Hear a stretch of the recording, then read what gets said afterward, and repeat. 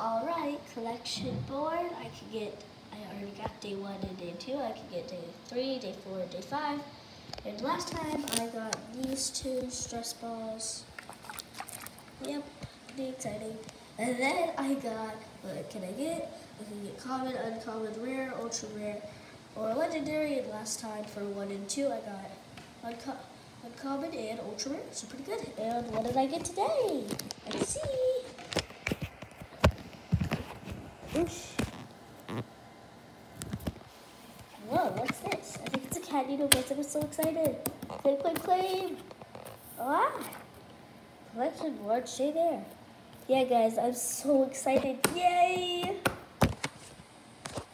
See, tell you guys what I get tomorrow. Bye.